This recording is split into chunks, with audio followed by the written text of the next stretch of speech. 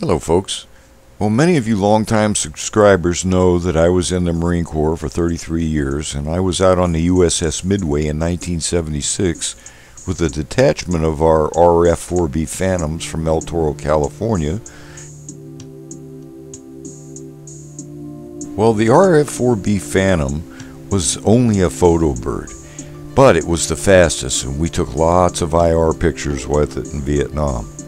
And many of you also know that I made my own catapults to launch RC aircraft and have many videos of that happening, including one miniature one, all inspired by my tour on the Midway.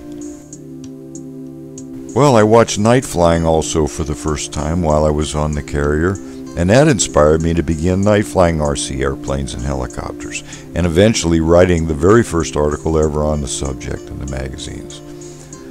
But always in the back of my mind, I wanted to have my own boat and fly a Phantom or something off of it. Well, I finally found a boat that I like. It's an old Rinker bow rider ski boat. It can move along pretty good at 35 knots into the wind, and I figured, hey, I actually have a Phantom, my DJI quadcopter, that is. So it's a nice day. I decided I'd go out and try and fulfill my dream of actually trying to do this. My considerations were that it was going to be risky, due to the fact that I'll be trying to take off and land on a pitching deck with 35 mile an hour headwinds as we're moving along, and while standing on the pitching deck trying to balance myself and being able to take off and land. I figured I probably could take off alright, but landing's going to be harder. If it slides off the deck, it's going to be in the drink going in upside down or sideways, and that will defeat the floats, and the electronics are going to be immediately ruined, just like the real thing. On our Phantom jets, the carrier alignment system, the CAINS, would sometimes take 30 minutes just to get the gyros in the inertial navigation systems on the Phantoms to actually settle down and align. Well, all I can do is try and hope I can fly with no mistakes. I'm not using GPS or anything. So, as we head out to the arena at Silver Lake here in Lake Park, Iowa, what could go wrong?